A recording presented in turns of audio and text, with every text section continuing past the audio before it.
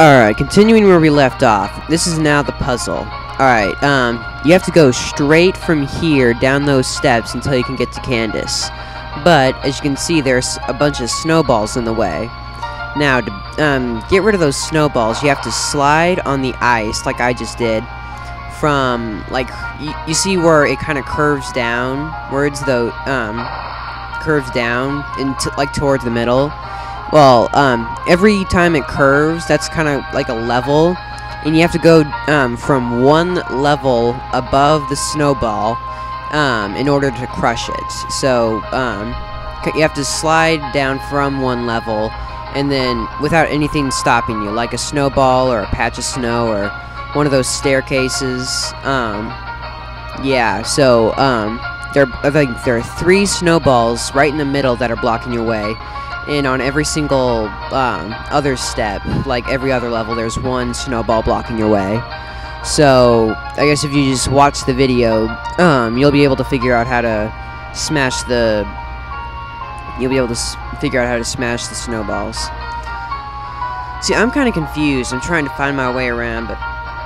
As you can see, I went from one level up and crushed the snowball real easy. Like, if you're really close, like, um, but you're still one level above the snowball, you can still go down and crush it. Um, so yeah, that's just, um, this is just one of those puzzles where, you know, the smart people who created this, these puzzles were just, they wanted to purposely make this for us just so they could, um, watch us and it was like, we have no idea how to get through this puzzle, and they're just there thinking we're so retarded and stuff. But, um, yeah, you kind of you kind of figure it out after a while. You kind of slide down and hit those snowballs like, "Oh, that's how you're supposed to make it." Well, this is this is almost kind of like the um the gym in Veilstone where you had to move those blocks over, um, except it's a little more advanced. You know, you can't really um, stop where you want to. You have to go like um, in a specific way, um, and you have to go slide down, you have to go back up levels in order to go back down and slide and hit the snowballs and yada yada and you know. So yeah. You know I was uh, while I was doing this I was thinking how how much it would cost to actually make these gyms like let, let, let's start it off. The first one um let's see Roark um that's probably the most yeah simple thing probably the cheapest um, gym to actual actually make. You know, um, just a couple of levels, but um, yeah. Let's see. The second one is going to be pretty tough because you know um, there are all those um, patches of grass and trees and bushes. You know, they would have to have like a, a retractable roof, and it would be, have to um, be able to stay like that and have all the sun come in. They'd have to continuously water the area, you know, and the painting on the walls, and you know, that that would cost a lot. I'm pretty sure. Um, third one, real that one's pretty cheap. I mean, it's just a you, you just have to um, push some blocks over. It's kind of like a little dojo. It seems so simple yet so sacred and important and stuff. But yeah, and then there are others like the fourth one. Um, that would be really yeah, well, you know, since it's time, um, we finally made it to Candice. We got through all that. So once you get all the all them done, here we are. Okay, Candice can be pretty tough if you're not prepared. Um, Snover just sends out a hailstorm. Um, is pretty tough. Sneasel is really fast. And Abomasnow, well, like I said, if you're not prepared, he can really take you down. Alright, um, well, Candice, it seems like every everybody looks up to her, but it's not like they're being controlled like Crasher Wake. It's like she's an actually pretty, really good gym leader. Well, anyway, let's just get this started so I can get my 7 um, badge. Alright, Snover, like I said, um, his ability, like, snow warning, um, it automatically sends out a hailstorm, so every turn, you know, um, you know, you'll be hit with, um, hail, and that will that's not good. You know, it adds up unless you finish this battle pretty quickly. Alright, um... Well, Snover, if you hit it with any um, any pretty good fire type or steel type, anything that's super effective against Snover will probably take it out in one hit.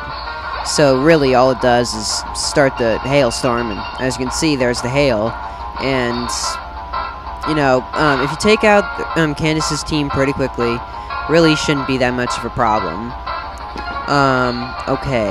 Um, now she's gonna send out Medicham. Now Medicham, really, it's different than um, her usual Ice. It's a fighting and psychic type, but it has Ice Punch.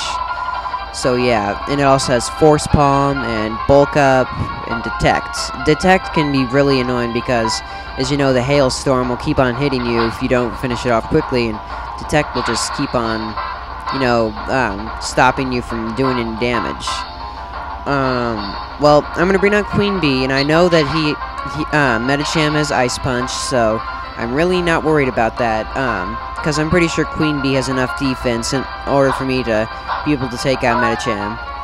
And I gave it a Shell Bell just so um, it could take up some HPs, just so um, if it hits me with another Ice Punch, then I probably don't have to worry about it, even though it's hitting me with Hail.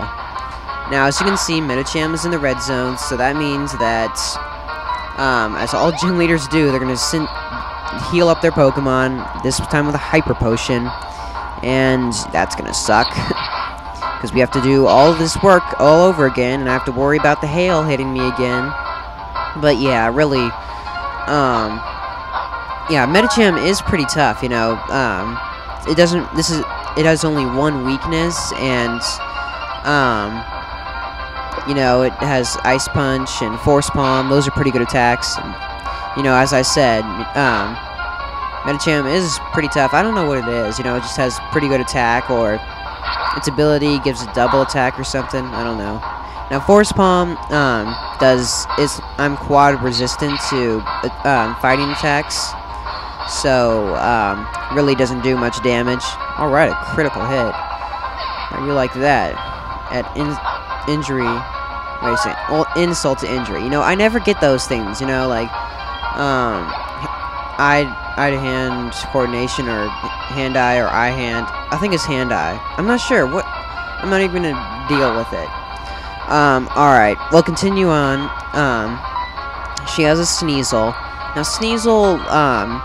Don't bring anything that's like doesn't have very much defense. Bring out something that has um, a lot of defense or really is like um, it's really resists a lot of attacks because Sneasel's really fast and if you bring out something that's weak um, like if I brought out Roserade I'd probably have to worry about it but you see Sneasel is really fast and um, has pretty high attack so if it outspeeds you then and if you have not good enough defense it'll just like sweep you out that's the one thing you have to worry about but that's okay.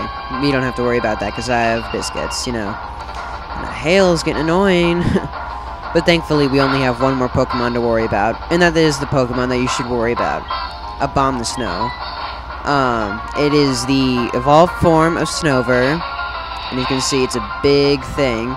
I'm not sure if it has a lot of HP or a lot of defense or something like that. Not really that much of a threat, but it is something to consider, you know. As long as you have, if you have a good fire type, um, same thing. You should fire type attacks will probably take it out in one hit. Um, other than that, you should if you have a high level Pokemon with a super effective attack, like I have Biscuits, you'll take it out in one hit. But it has stuff like Wood Hammer and Avalanche and Swagger and stuff like that that you should worry about. All right, well. Mm, that was a pretty easy battle, but I did a, a, lot of training, so really shouldn't be that much of a problem. Alright, I get the Icicle badge, which is now my 7th badge, which means I only have one more badge to go. Um, now I can use Rock Climb anywhere I want to. Like, if you wanted to go back to that one part where you could Rock Climb up to those trainers, you could do that. She also gives you TM72, which is Avalanche, um, which it doesn't have that much um, attack power, but if you have less than um, if you have less than half um, HP left, it'll do double damage. It's kind of like Brine. Alright, like I was saying, we have seven badges, but we have to take care of some Team Galactic stuff, so we will take care of that next time. See ya.